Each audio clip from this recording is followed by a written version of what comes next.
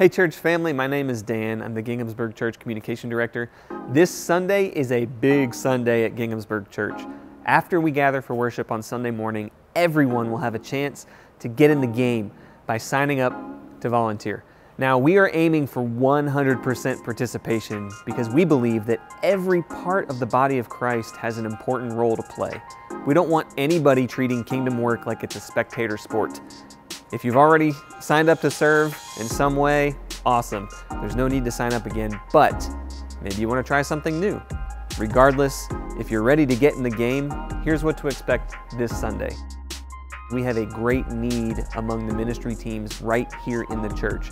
So we've hand selected eight categories to feature at tables in the worship center.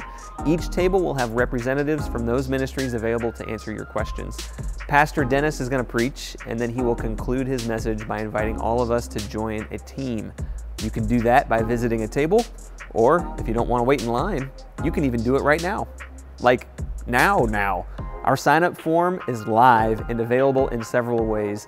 On our website, we've set up a special page with an explanation of each volunteer category.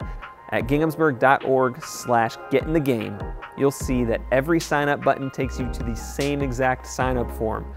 And if you don't know where to start, you can fill out the skills inventory and we'll help you find the right fit. There are a few other paths to sign up as well. On the Ginghamsburg app, you'll see a new section on the home screen called Get in the Game. When you're in worship, you can also scan the QR code where a Get in the Game link can be found at the top of our Linktree bulletin.